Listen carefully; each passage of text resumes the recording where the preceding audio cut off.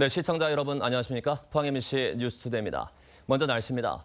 경북 동해안은 대체로 맑은 가운데 어제 이어 오늘도 폭염은 다소 주춤하겠습니다. 오늘 아침 최저 기온은 포항 20.9도, 경주 17.8도 등의 분포를 보였고 낮 최고 기온도 포항 28도, 경주 32도, 영덕 29도, 울진은 26도에 머물겠습니다. 바다의 물결은 0.5에서 1.5m로 일겠습니다. 정부가 앞으로 25년 계획으로 활성단층이 반영된 국가 지진위험 지도 제작에 들어갔습니다. 경북 동해안을 포함한 동남권 지역은 5년 뒤면 결과가 나와 관심이 쏠리고 있습니다. 장성훈 기자가 보도합니다. 정부는 1,100억 원대의 예산을 투입해 오는 2041년까지 25년에 걸쳐 국내 450여 개 단층을 조사한 뒤 활성 단층이 반영된 국가지진 위험 지도를 제작하기로 하고 최근 작업에 착수했습니다. 이에 따라 활성 단층이 가장 많은 경주와 포항, 울산, 부산 등 이른바 동남권 지역부터 시작해 지난해 경주 지진으로 인한 주민 불안을 감안해 5년 뒤에 연구 결과를 곧바로 발표할 예정입니다. 이번 연구를 주관하는 부경대 김영석 교수도 양남 단층과 울산 동래 단층 등 동남권 단층들에 주목했습니다. 우리나라에서 주로 지진이 이제 많이 발생하고 위험도가 상대적으로 높은 지역들이 이 경주를 중심으로 한 울산이나 이제 포항이나 저기 어, 양산, 이제 부산 이렇게 이어지는 지역들이 지금 가장 어, 위험성이 높다고 지금 알려져 있습니다. 첨단 기술을 이용한 항공 촬영을 비롯해 구조 분석을 통한 단층 추적과 굴착 조사를 해 발생 가능한 지진의 규모를 파악하게 됩니다. 데이터가 굉장히 좋으면 그 단층에서 일으킬 수 있는 최대 지진의 규모까지도 알아낼 수가 있습니다. 연구 결과가 나오면 활성 단층 주변의 시설물 설치 제한과 지역별 내진 설계 기준 강화 등이 법제화될 예정입니다.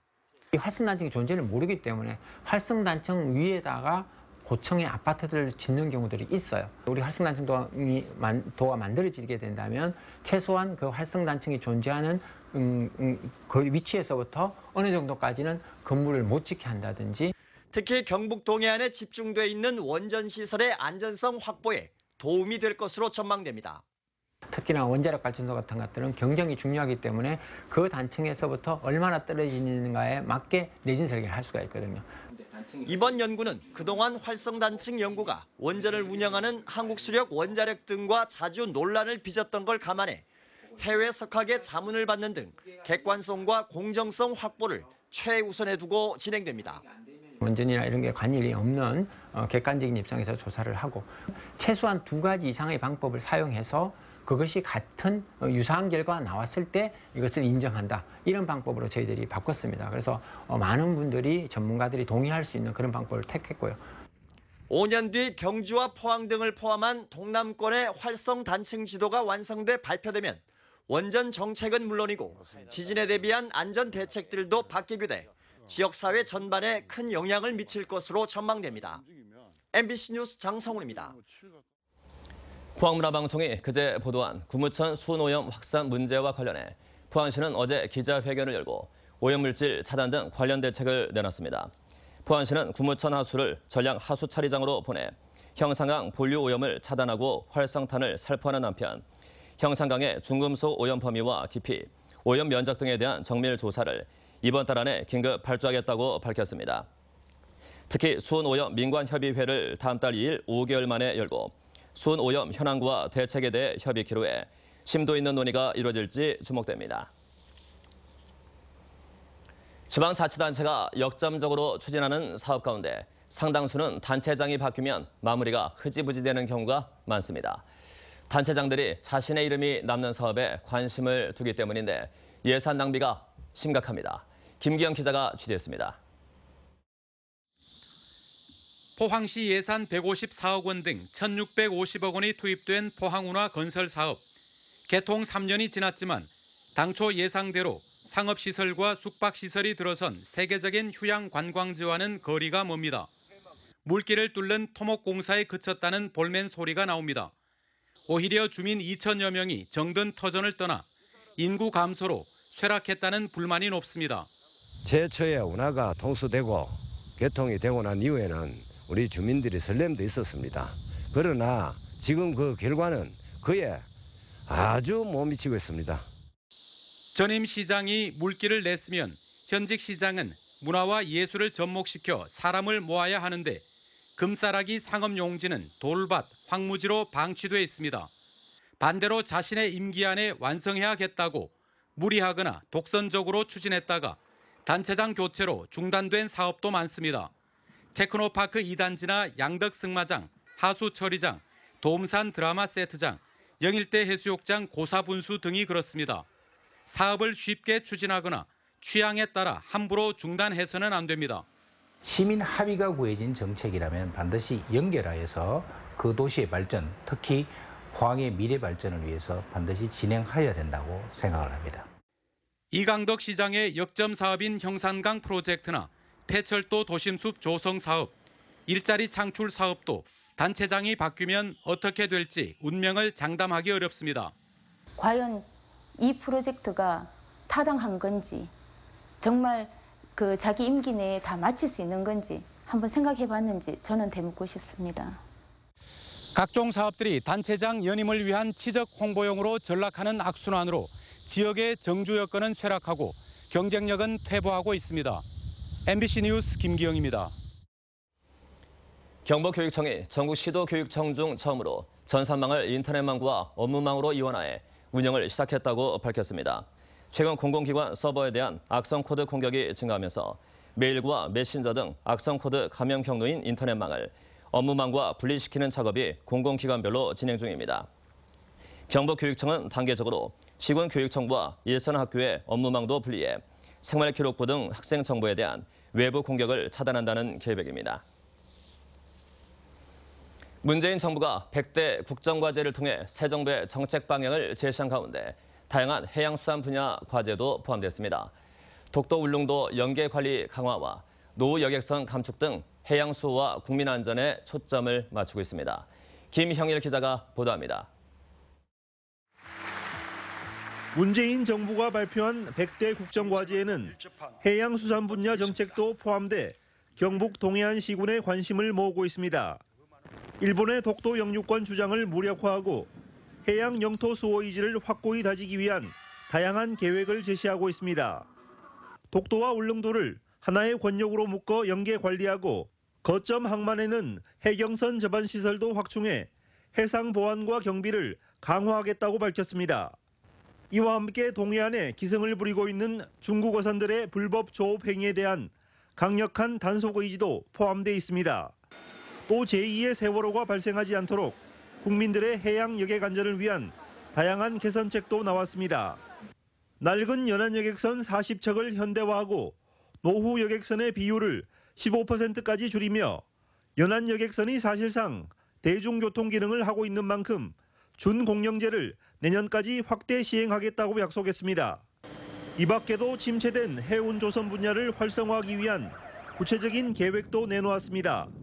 수출입 화물의 안정적 운송을 위해 2019년까지 국가 필수 해운제를 통해 국적 선사의 이용 비율을 최대한 확대하고 오는 2022년까지 친환경 고효율 선박 100척을 건조할 수 있도록 지원하겠다고 밝혔습니다.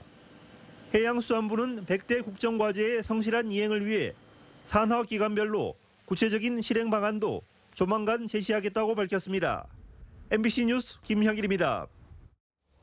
영덕군이 대한무역투자진흥공사 코트라와 함께 고래불 관광단지에 대한 해외 투자 유치에 나서기로 했습니다.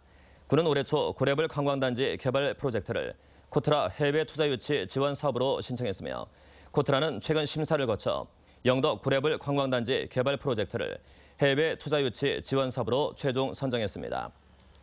코트라는 앞으로 2년간 해외 36개 무역관과 코트라 해외 국가 투자 유치 포털 사이트를 통해 고래불 해수욕장을 전 세계에 알리고 적극적인 투자 유치에 나섭니다.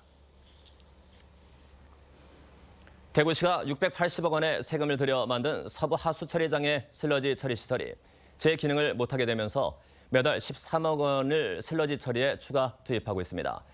대구시는 새로운 처리 시설을 민간에 위탁해 만들 예정인데 오히려 세금이 더 들 가능성이 높아 논란이 일고 있습니다. 윤영균 기자가 취재했습니다. 지난 2011년 대구시가 680억 원을 들여 만든 서부 하수 처리장 슬러지 처리 시설. 하수 슬러지를 건조시켜 쓰레기 매립장의 매립토로 사용했습니다. 그러나 수분 함량이 높아 비가 오면 슬러지 형태로 다시 돌아가고 심한 악취에 유해 물질까지 검출되면서 결국 지난 1월부터 매립장 반입이 중단됐습니다. 대구시는 민간 폐기물 처리업자에게 매달 13억 원씩 들여 하수 슬러지를 처리하고 있습니다. 안 썼어도 될 세금이 1년에 150억 원 정도 나가는 겁니다. 대구시는 이 때문에 슬러지의 수분 함량을 10%까지 낮춰 고체 연료로 만드는 방식을 추진하고 있습니다. 민간업체가 427억 원을 들여 서부 하수처리장 시설은 리모델링하고 신천 하수처리장에 한 곳을 더 만드는 대신 대구시가 처리 비용을 주는 방식입니다. 기본적으로 민자 아, 민자를 유치하는 것이고 어, 가능한 한 어, 어떤 사업 기간을 단축하기 위해서 어, 공유재산법을 적용해서 사업 기간을 단축하는 방식으로 지금 추진을 하고 있습니다. 하지만 20년 동안 운영권을 보장받을 업체에게만 유리하고 세금이 더 낭비된다는 주장이 나오고 있습니다. 현재는 하수 처리 과정에서 발생하는 메탄가스로 고체 연료를 만들겠다는 계획이지만 열량이 낮아 LNG를 추가로 사용해야 하고 수선 비용이 발생해야 할 경우 대구시가 부담해야 한다는 겁니다. 이런 부분들을 합쳤을 때는 약 800억에서 900억 정도에 대한 부담을 대구시가 해야 되는 것입니다. 그러면 이러한 예산들이 전부 다 대구 시민들의 세금으로 충당이 되는 부분들인데 또 고체 연료를 화력 발전소에 팔지 못하면 손해 나는 부분을 대구시가 메워야 해 자칫 또 다른 세금 블랙홀이 될 가능성이 제기되고 있습니다. MBC 뉴스 윤영균입니다.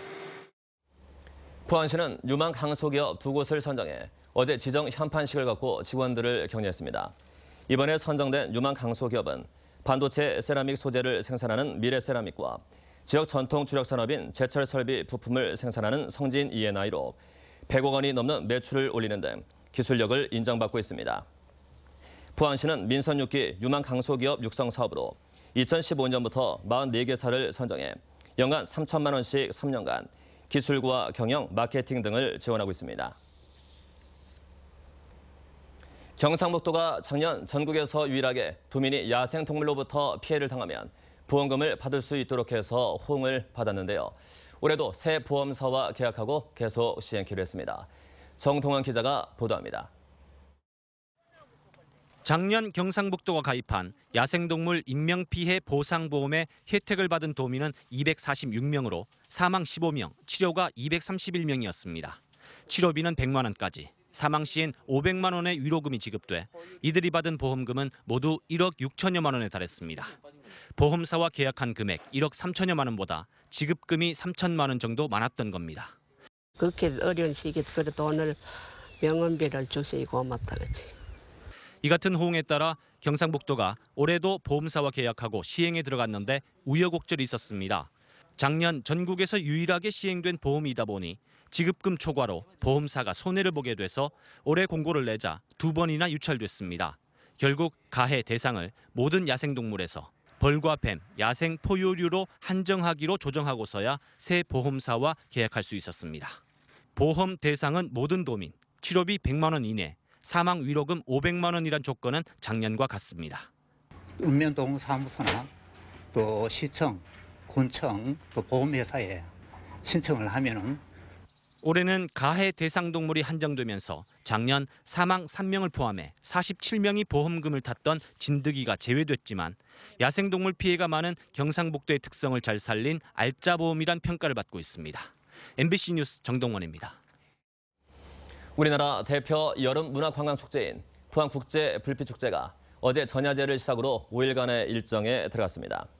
어제 행사는 영일대 해수욕장에서 버스킹 페스티벌과 전야제가 열렸고 오늘 개막식에서는 불꽃과 아트 서커스를 결합한 주제 공연과 10분간 데일리 뮤직 불꽃쇼가 화려하게 펼쳐집니다. 특히 주말인 29일 형산강 체육공원에서는 우리나라와 미국, 스페인 3개국의 대규모 국제 불꽃쇼인 비바 포항 하늘꽃 피는 날이 1시간 동안 포항 밤하늘을 수놓을 예정입니다. 포항 상공회의소 수출지원센터는 지역 중소기업의 수출 판로 확대를 위해 해외 박람회와 시장 개척 활동을 지원키로 했습니다. 수출 지원센터는 지난 4월 인도 문바이 철강 박람회에서 981만 달러 규모의 계약 상담과 980만 달러의 견적 상담 성과를 거뒀습니다. 또 오는 9월에는 인도네시아와 태국 시장 개척단을 구성해 5일간 현지 바이어, 포스코 현지 법인 구매 책임자와 수출 상담을 할 예정입니다. 포항상이 수출 지원센터는 이 밖에도 전문성이 부족한 중소기업을 위해 사후 마케팅 관리와 외국어 통번역 지원 등의 사업도 지속적으로 추진키로 했습니다. 울진 11형 보부상 주막촌이 내일부터 본격 운영에 들어갑니다. 주막촌은 울진 금강 소나무 숲길에 자리 잡고 있으며 다양한 먹거리와 함께 단체실과 가족실을 갖춘 숙박동도 있습니다.